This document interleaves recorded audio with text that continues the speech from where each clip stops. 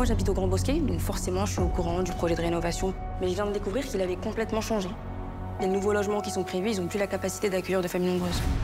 J'ai pas le dossier en tête, hein, mais euh, ce que je peux vous dire, c'est que la ville fait vraiment de son mieux pour rénover ce quartier. Bah non, justement. Mais tu sais ce que ça veut dire que d'être maire d'une ville comme celle-là? À quoi ça sert de reconstruire des immeubles et de changer tout un quartier C'est pour se retrouver avec exactement les mêmes problèmes? On parle de quoi exactement? Des problèmes sanitaires? Problèmes scolaires D'insécurité euh, Droits des femmes On parle de quoi exactement On parle de problèmes de personnes qui causent des problèmes. On a la plus grosse concentration d'étrangers au département. Et à ça, tu rajoutes le record de délinquance. Tu vois pas comment ça se passe dehors ou quoi, toi? Le fou.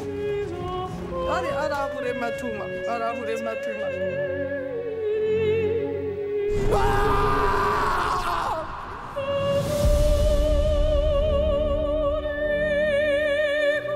face à une occasion en or. Ça fait des années que la mairie veut expulser ces Je gens. vois pas virer des gens le jour de Noël. Parce que c'est à ça qu'elle vous sert, vous, la police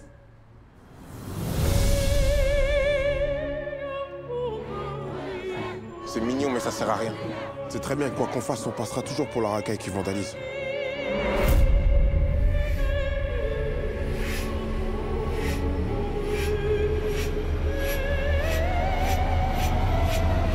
On ne peut pas être que en colère.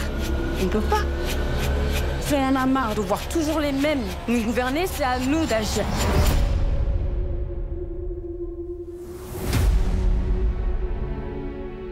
Et toi, comment tu te définirais? Moi, je suis une Française d'aujourd'hui.